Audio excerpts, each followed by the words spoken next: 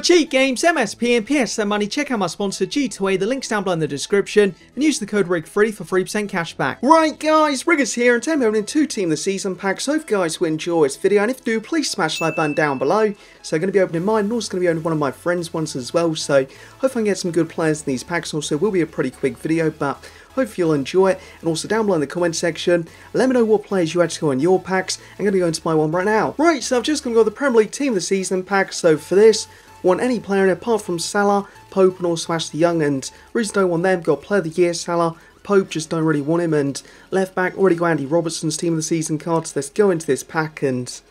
Yeah, hopefully EA can give us some absolutely amazing this pack. So come on. Just someone who can fit my team and I'll be happy with this. So for the country, Argentina. I'll take that. I will definitely take that. That is absolutely insane player to get for this pack. Like, that is absolutely amazing. Sergio Aguero for the pack. That is the best player you can actually get. Well, you can get Salah, but I don't want him. So, um, yeah, that is the best player I could possibly get. His card as well. That looks absolutely amazing. 96 pace, 98 dribbling, 97 shooting, 91 passing, 90 physical.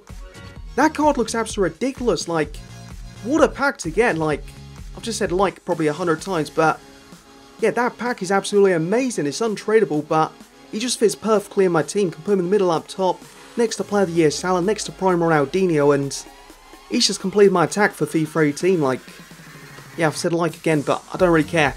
What a pack. Right, so going into my friend's one now for this pack, he wants anyone but Pope, so EA, just please don't give us Pope in this pack and let's go, so come on.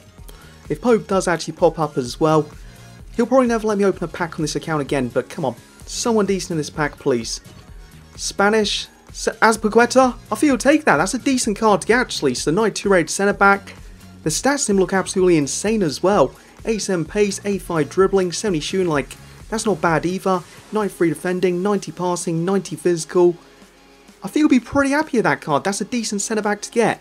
So that will be it for this video as well now. So see you, Shuni Riggers, and hope you enjoy this video. And if you have, please for like.